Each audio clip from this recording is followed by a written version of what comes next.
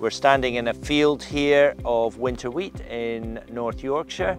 It's variety champion and we're just at the application of T1 which went on uh, on the 26th of April and we're just assessing what we might consider as our T2 application in four weeks time.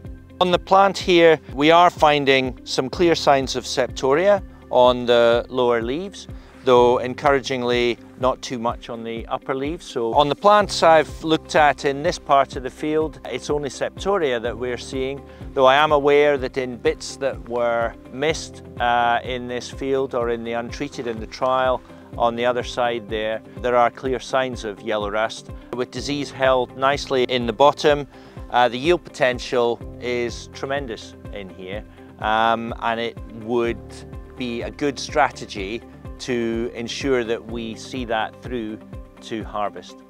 And to do that, we're going to stick with a robust fungicide program. To that end, having put on our T1 in good time, a T2 of Univoq at 1.25 litres still feels like a good strategy to ensure we get the best heap in the barn.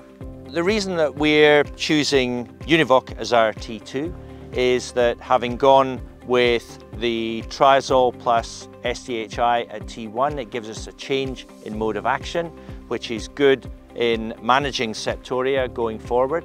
It provides excellent activity against septoria and yellow rust, and its persistence is going to carry through from our T2 application, which is why we're going at 1.25 litres to give us delivery on the yield potential which is clearly in this crop.